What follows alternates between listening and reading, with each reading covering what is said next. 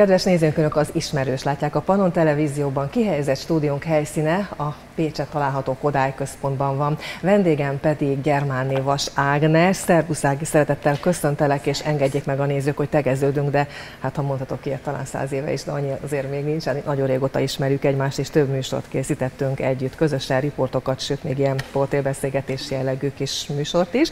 Őrzem most viszont, őket. Igen, most viszont a, a találkozásunk apropója az, hogy nagyon-nagyon magas rangú elismerésben részesültél a Város napján, szeptember 1-én a Pécsi Városi Önkormányzattól a Pro Communitate díjat vehetted át. Ez egy nagyon nagy megtiszteltetés és nagyon elismerése a, a munkádnak, a művészeti tevékenységednek. Neked természetesen van számos díjat, de azért abban a városban, ahol élsz, ahol dolgozol, ahol ezt a nagyon magas szintű munkát kifejtetted egész életedben, ott ez egy nagyon komoly elismerésnek számít, és gratulálunk, mindjárt ezzel kezdjük. Neked nagyon-nagyon gazdag életutad van. Hegedű művész vagy, Lizdias hegedű művész. Most nem megyünk vissza egészen a a gyermekkorig, mert rengetegen ismernek téged, és ha valaki kíváncsi rá, utána tud olvasni mindennek. Rengeteg sztárral, híres emberrel felléptél, közösen dolgoztál, vagy valamilyen módon kapcsolatba kerültél, hiszen az előbb néhány perccel ezelőtt rengeteg fényképet mutattál nekem, és hát tényleg hasznom, hogy Farkas Bertalan, vagy Habsburg György, vagy Domingo, de hát sorolhatnánk még bőven, akkor azért ez egy nagyon széles és színes repertoár. Nem is tudom, hol vágjunk bele, kezdjük a művészeti részével. Domingo ővele azon kívül, hogy együtt itt találkoztatok, és találkoztunk sokan, amikor itt volt Pécset, milyen jellegű közös munkátok volt? Visszatérve az első mondataidra, számomra fontos, hogy ezt elmondjam, hogy hihetetlen nagy megtiszteltetés valóban ez a Pro Communitate díj, és nem csak azért, mert, mert hogy most ez egy kitüntetés, hanem ebben az életszakaszban, amikor az ember úgy érzi, hogy nagyjából megcsinálta azt, amire hivatott volt, vagy amit elvártak tőle, és amikor már nem is gondolnád, akkor még mindig gondolnak rád. És ez a rágondolás, ez pont a városomtól jön, ahova én mindig, mint a földobott kő, úgy jártam vissza, és soha egy percig el sem tudtam volna képzelni, hogy másút legyen az otthonom, de országon belül sem. És Hát ezért örülök, hogy ez ilyen kölcsönössé vált, mert már volt ugye előzőleg egy pécsi kitüntetésem a tükedi, és volt egy az önkormányzat részéről egy Pécsváros művészeti díja. Ez pontosan akkor, amikor Pécsváros kulturális fővárosá vált. És a kérdés további része pedig, hát tényleg a pálya olyan, hogy akarva, akaratlanul számos óriási egyéniséggel, nagy művészel találkozik az ember, és fölnéz rájuk, és próbál elsajátítani, tanulni, részt venni picit a akkori pillanatnyi életében az illetőnek, és valóban voltak ilyen találkozásaim. Hát pont Domingot említetted, vele kapcsolatban talán a legnagyobb élményem, hát természetesen a művészete, amit gyermekkorom óta, fiatal korom óta csodálok, és mai napig, de a legnagyobb élményem az, hogy Berlinben egy hétig vendégeskedtem, és rengeteg előadást láttam. A részben a berlini filharmónia nagytermében, részben pedig a berlini Staatsoperben, ahol Daniel Barenboim a vezetőkarmester, és hát a világ első számú zongoristája, amellett, hogy karmestere is. És ők ketten nagyon a Domingóval nagyon jó barátságban vannak, közös koncertekkel pecsételik ezt meg elég gyakran, és ezen a ominózus héten volt olyan őrületes szerencsém, hogy lefényképeztem őket a Karajan féle berlini filharmóniának a aulájában, és erre a fényképre én borzasztóan büszke vagyok, hogy egyáltalán így összeálltak a kedvemért, mint két jó barát, és utána közös vacsorán beszélgethettünk, illetve én ámulva hallgathattam őket. Ennyit a Domingo féle kapcsolatról. Yehudi Menuhin, világhírű hegedű művész. Itt talán már érthető a kapcsolódás, hiszen te is hegedű művész vagy, Lizdíjas hegedű művész. Hát mondjuk de, ezt egy lapon nem említeném, de, de... azért mégis sikerült találkoznatok. Mi volt ez? Ez a Jeunesse Musicalnek volt az egyik, rendszeresen minden évben van egy Jeunesse Musical fesztivál, az azt jelenti, hogy a világ minden tájáról összegyűjtik a kiválóan tehetséges fiatalokat, és akkor emellé rendelnek, hát most talán már nem szerénytelenség, de hát jó képzettségű docenseket, akik foglalkoznak velük, tanítják őket, és végül jön a mester, és ebben az esetben a mester és szólista. Ebben az esetben a mester Walter Weller volt, aki a londoni filharmonikusoknak volt a főzenei igazgatója akkoriban, és Yehudi Menuhin volt a hegedű szólista. És Hát erre tényleg büszke vagyok, mert ez is a véletlen műve. Három hétig együtt dolgozhattunk, olyan értelemben, hogy én készítettem föl a zenekart, vonós részleget, arra a produkcióra, ami aztán végül elhangzott, és arra is nagyon büszke vagyok, hogy Menuin nagyon kedves volt velem, és nagyon sokat beszélgettünk. Többek között tőle tudtam meg, hogy a Bartók szólószonátát milyen körülmények között rendelte meg ő Bartóktól, mivel hogy Bartók nagyon szegény sorban, szegény sorban élt Amerikában, és nem hagyott magán segíteni, mert büszke volt. Tehát ilyen, hogy, hogy kölcsön kérés, vagy, vagy hogy adjanak neki, ezt ő nem fogadta el. És Menuhin kitalálta, hogy rendel egy szólószonátát hegedűre, és ezt elfogadta Bartók, mint felkérést, meg is írta a világhírű művet, és utána Yehudi Menuhin ezt avval spékelte meg, hogy az el, eljátszhatási díjat is kifizette, tehát hogy csak ő játszhatta bizonyos ideig, időkorláttal. Tehát ez Bartóknak egy anyagi forrás is volt, amit ami nem sértette a büszkeségét. Na most, hogy én ezt Menuhin szájából hallhattam egy jibben ülve, miközben egyik helyszínről a másikra furikáztak minket, ez, ez olyan álomszerű most is, ha visszagondolok. Hát van róla fénykép is, amikor például ilyen, hogy közösen dedikáltunk a diákoknak, meg a hallgatóságnak, Hát ez is számomra már elpirulok akkor, ha csak megnézem a képet, hogy ott ülök menüim mellett, és mind a ketten dedikálunk. Ez kicsit olyan, olyan ironikus nekem, de, de boldog vagyok, hogy átélhettem mindannyiunk nagyon nagy vesztesége, és főleg a zenei élet nagy vesztesége volt Kocsis Zoltán, Lizdíjas Kossuth érdemes művésznek az elvesztése, viszont ő is több találkozási pontod volt, együtt dolgoztatok, és van közös fényképetek is, mesél róla. Igen. Hát Zoli nekem a mai napig nagyon-nagyon hiányzik. Ő egy olyan űrt hagyott maga után, amit szerintem nem is kell pótolni. Tehát ő egy olyan egyéniség volt, egy olyan jelenség, ami pótolhatatlan veszteség, bele kell törődnünk. Talán így jó, hogy az Enitem ment el, ha már beteg volt, hogy akkor ne kellett volna megírnünk és megírnie azt a teljes hogy hogyan fejezem ki magam. Tehát amikor már a betegség olyan fokon van, hogy esetleg nem is tud már az emberekkel kommunikálni, amit én átélhettem vele, az nekem rendkívül élmény volt a filharmónia rendezésében. Voltak koncertek, amik előtt prológus néven folyt egy műsor. Ez azt jelenti, hogy a színpadon az aktuális karmesterrel vagy előadóval szabad volt beszélgetnem. És hát Kocsi Zoltánnal ezek a beszélgetések nekem örök élmények maradnak, mert olyannyira partner számba vett. Tehát nem az, hogy feltettem egy kérdést, és utána ő beszélt a közönséghez, meg a kamerába, hanem ő beszélgetett, és vitatkozott, és esetleg igazat is adott, és hát ezek iszonyú diadal érzések voltak az életemben. Nagyon szerettük egymást, hát ha szabad így mondanom, én úgy éreztem, hogy ő is szeret engem. Nagyon, nagyon, nagyon, nagyon jó napjaim voltak, és kellemes, szép emlékeim fűződnek hozzá.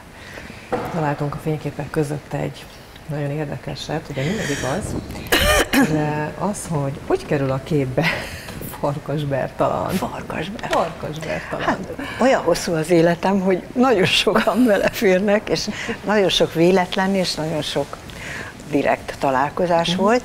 Ez úgy jött létre, hogy Budapesten Ács János karmesterrel volt egy, egy közös produkciónk, mondhatni egy szonátás, de nem csak szonátákat játszottunk, hanem különböző hegedű, zongora darabokat, és a vendégek között ott volt, a meghívott vendégek között ott volt Farkas Bertalan is, és hát utána volt egy elég nagy stílű fogadás, és ott én nagyon sok mindent megtudtam a világűrről, meg Berciről, meg baráti köréről, ők is ott voltak, és hát hosszú ideig úgy tartottuk a kapcsolatot már ilyen levelező szinten, meg beszélgetések, telefonálások.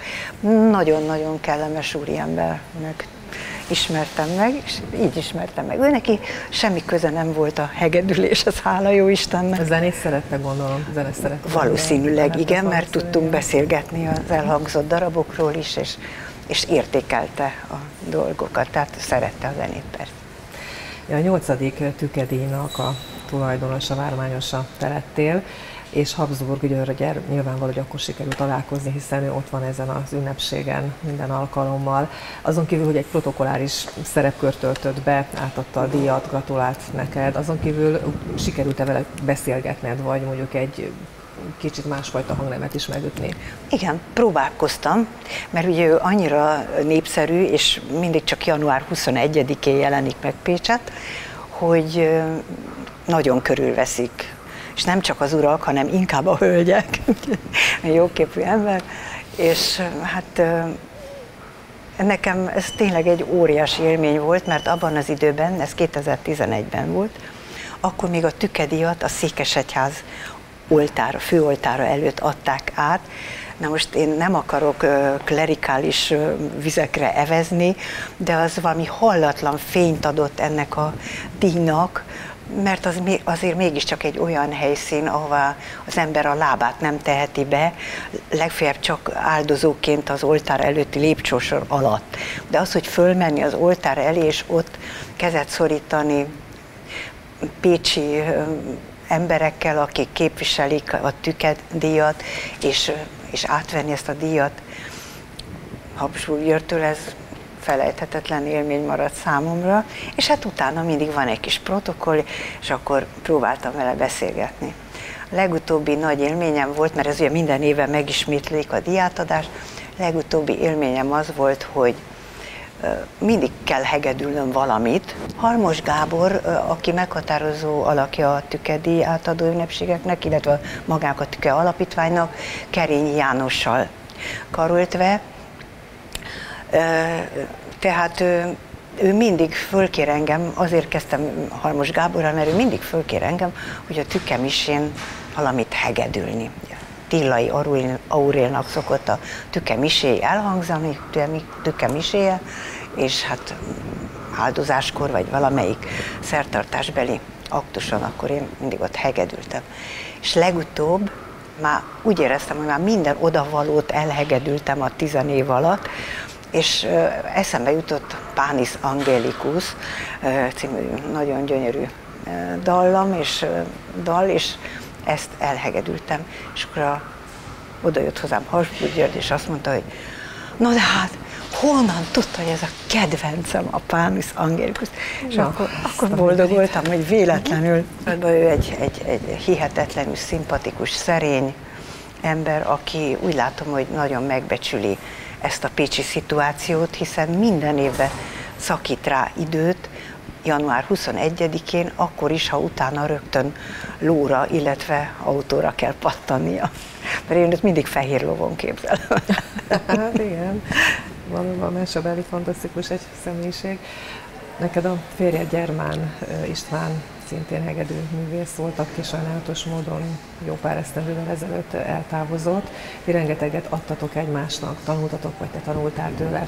Egy picit erről beszélje. Hogy volt hát köztetek? életemnek a meghatározó alakja volt a férjem, a gyerekem apja, a szerelmem, és az ember sokszor érez életében, és hát kalandozók is, hiába tagadjuk, hát érzelmek nélkül nem is menne életünk, de az alapvető érzelem az ő hozzá fűzött, és fűz a mai napig. Azért is nem változtatnék a nevemen, mert ezzel szeretném jelezni, hogy ő volt a legfontosabb ember számomra a földi életben. Nagyon jó is volt, és még az is a zenekarom, illetve a városomnak a hihetetlen ajándéka, hogy tavaly, január, pontosan nem tudom, hogy hányadikán, volt egy koncert, ami kifejezetten őróla szólt, az ő művészetét méltatták, és az ő emlékére szóltak a darabok, volt növendékei világ sok tájáról. Hazajöttek erre az alkalomra, és nagyon megtisztelő volt, és ezúttal is mindenkinek köszönöm, aki ebben segített, hogy ez létrejöhetett ez a koncert. Gyermán Júlia a gyermeketek. Nagy, nagy lányotok, felnőtt lányotok, hiszen már nagymama is igen, van. Igen, igen, nagy azt hiszem három, már, három unokád van? Négy. Négy, már négy vagy egyen Régen beszélgettünk. Igen, igen. Ahányszor, ugye én Koreában éltem öt évig, és hát szemeszter végekkel mindig haza rohantam, hogy itt mi újság van. Ahányszor hazajöttem, mindig egy újabb baba volt a pocakba, és ötödször azért nem mentem vissza, mert mondtam, hogy itt stop, most négy gyerek elég, nem megyek többet Kóreába, mert annak nem lesz jó, ja, hazajövök. Na, a lényeg az, hogy Júlia is hegedül, hát szegény mi más csinálhatna? Ilyen környezetbe csöppent, és kötelességszerűen kellett volna neki hegedűt tanulni, de nem sok kedve volt hozzá, inkább zongorázott, mert ugye ott lehet ülni, és közben már egyik kézzel lehet, anya nem, haj, nem látja úgyse, lehet lapozni könyveket, meg mit tudom én, miket csinált, és egyszer volt egy előadásunk a férjemmel a színházba, ahol Mozart szimfónia koncertántiát játszottuk, férjem brácsázott, én hegedültem. Az nem mellékes, hogy egy szerintem nagyon szép ruha volt rajtam, egy fehér földig érő, és ilyen világos, pasztelszínű virágokkal volt az alja körülhímezve. És a gyerekem azon 9-10 éves volt, és ült a páholyba, és hazamentünk, és azt mondta, hogy anya, ezt a darabot én is el akarom játszani. És akkor mondta neki az édesapja, hogy hát édeském, a ruha volt ugye a bűnös szerintem, de ezt ő meg ne hallja, ezt a riportot meg ne lássa. És akkor apu azt mondta neki, hogy hát mit képzelsz te? Hát azért előbb kell fölkelni, ha most akarsz elkezdeni tizenéves korodban heget. Hát ti mit képzeltek? Mindenkinek annyi időre van szüksége, mint nektek. És elkezdett hegedűt tanulni, és hát meg kell mondjam, hogy igazán van tehetsége hozzá. Most jelenleg a Zuglói Filharmoniában Szent István zenekarban koncertmester, és tanít ugyanabba a gimnáziumban, Szent István gimnáziumban. Nagyon sokat dolgozik, nehéz az élete, négy gyerekkel, mondjuk hiába nagyok, de hát a tanítatás az folyamatos, és elváltak a férjétől sajnos. Úgyhogy ez a sorscsapás minket se került el, pedig hát nagyon úgy számítottuk, hogy hát semmi ilyen velünk nem történhet, hogy vállás, meg voltunk botránkozva, hogy világ milyen, hát ilyen. Ennyit a családomról, egyik aranyosabb, mint a másik, és hogyha a negyedikre azt mondanád, hogy hát nem túl sok a négy gyerek, akkor ha a negyedik nem lenne, akkor én sem lennék, annyira szeretem. Zenélnek, tanulnak zenét a gyerekek? Hát ez is a család élet következménye, hogy hát az volt az elf, hogy nem kell kényszeríteni, meg nem. Szóval magyarul nem volt idejük rá, hogy úgy különösebben odafigyeljenek a gyerekek zenei nevelésére. Az egyik unokám a legnagyobb, Vedres Péter, ő egyszer csak tizenéves korában fagotozni kezdett, hogy milyen indítatásból annak. Fogalmam sincs, de mai napig imádja, fölvették Bécsbe, és hát nagyon remélem, hogy hogy a, most zárójelbe, vagyis idézőjelbe, hogy szép karriert fog befutni, a pályáján boldogulni fog. Nagyon ügyes, itt Herpai Ágnesnél tanult, és most pedig Bécsbe Turnovski professzornál fog, akinek a neve azért érdekes számomra, mert az ő édesapja nem az ősidőkben, nem olyan nagyon régen vezényelt minket a Pécsi Filharmonikus Zenekart, és felvételünk is van vele, és az ő fia egy nagyon híres fagotos, és ő fog Péterrel foglalkozni, ha minden igaz. Mert azért ezt elmondanám zárójelbe, hogy a Pettinek angol nyelvvizsgája van, és amikor kiállított Bécsbe, avval, hogy fölvették, akkor azt mondták, és hol a német? Tehát azért ez a, bocsánat, most egy, lehet, hogy egy olyan szót fogok mondani, igen. ami ki kell majd vágni, de azért ez sovinizmus.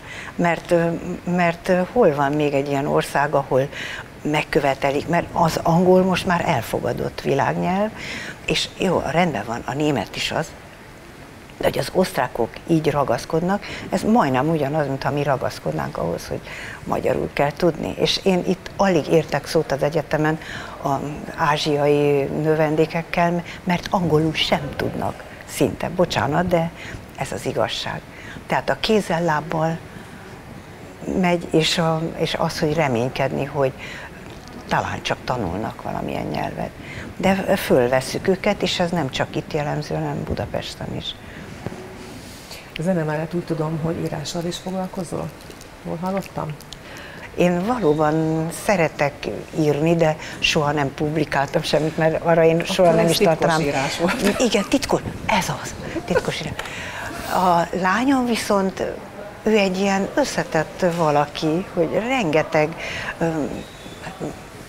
hogy mondjam, rengeteg csövön lélegzik. És neki alapvető dolog, hogy valamit éjszaka kigondol, eszébe jut, és azt reggel, reggel leírja. És meg is jelent neki már egy nagyon szép verses kötete, önkormányzati segítséggel, és hát nagyon boldog voltam, mert amikor a könyvbemutatója volt, itt volt a házba, akkor rengetegen voltak, és nagyon nagy öröm volt számomra ezeket a verseket igazi előadó szájából tolmácsolva hallgatni, meg, meg egyáltalán a beszélgetést, amit ő a, a narrátorral folytatott, és a versek gyönyörűek. Úgyhogy én, hogyha most gazdag lennék, vagy legalábbis egy kicsit gazdagabb, mint most, akkor kiadatnám még egyszer szívem szerint. Tehát erre túl sok reményem nincs. Úgyhogy... A te titkos írásodról idézőjelben mit igen. szabad tudni, mennyire, esetleg lehet, hogy naplójellegű és nagyon intim, de, de mi az, amit esetleg szabad tudni róla? A titkos írásom? Az a nem tiédről. rendszeres, és nem, nem ilyen, hogy elteszem, mert majd valaki elolvassa. Leírok valamit, aztán lehet, hogy másnap már összetépem és eldobom. Tehát nem ilyen jelleggel, hogy hogy utókor, meg szóval sose voltam ilyen... Napló se... jelleggel írogatod? Naplóst se írok. Nem, lusta vagyok, mint a kutya. Igen. Esténként azt élvezem, hogy kinyitom az ablakomat, és rálátok erre a fantasztikusan gyönyörű, kivilágított tévétoronyra. Sokan mondják, hogy mi ez pazarlás. Nekem olyan gyönyörűséget okoz nap, mint nap, ahogy változik a színe, és ahogy fémjelzi a városomat. Imádom. Az látom én is. Igen. igen. Sajnos nem közvetlen közeléből látom, hanem az állomás közeli lakásomból, de nagyon gyönyörű, és még alatta a székesegyház, és ott pompázik kivilágítva. Úgyhogy én ettől vagyok boldog, ennyire egyszerű vagyok, és, és ez nekem öröm. Nézem a tévét, Pécs tévét is szoktam nézni, a Pannon tévét is szoktam nézni, szóval Mit jelent akkor a 3P Pécs TV, Pannon TV, a Pannon filharmonikusok mit jelentett számodra? Hát az életemet. Tulajdonképpen én soha nem úgy apostrofáltam magamat, hogy ilyen, meg olyan művész, meg meg... Én a Pannon filharmonikusok koncertmestere lehettem, ez a mai napig egy megtiszteltetés számomra, és az, hogy még meg is becsülnek, örökös tag vagyok, bérlet az kezembe, tehát bármikor jöhetek, és, és úgy érzem, hogy a volt kollégáim, akiket mai napig nagyon szeretek, és az új kollégák is, akik részben az egyetemről kerülnek, és ott foglalkoztam már velük, úgy érzem, hogy szeretnek, lehet, hogy tévedek, de én nagyon szeretem őket, és így el vagyok. Biztos így is van. Én nagyon szépen köszönöm, hogy elfogadtad a meghívásunkat, és még egyszer nagyon-nagyon gratulálok a városi elismeréshez. Nagyon szépen köszönöm a megtisztelő meghívást. Minden jót kívánok! Kedves nézők, Önök az ismerős látták, tartsanak velünk legközelebb is, viszontlátásra!